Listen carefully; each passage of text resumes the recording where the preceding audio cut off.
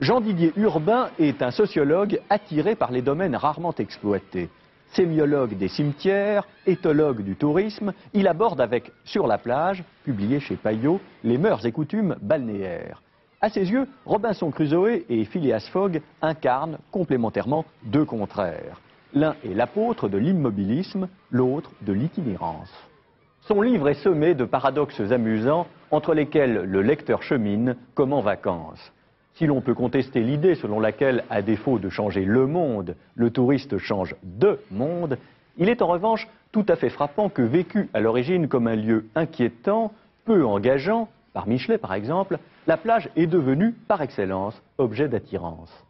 Quant au culte de la forme, si explicite en bord de mer, il ne date pas de nos jours. Dès 1935, apprenons-nous, le club de l'Ours Blanc, sur la côte d'Azur, favorisait le déshabillage sportif de ses membres, Daniel Darieux, Marcel L'Herbier.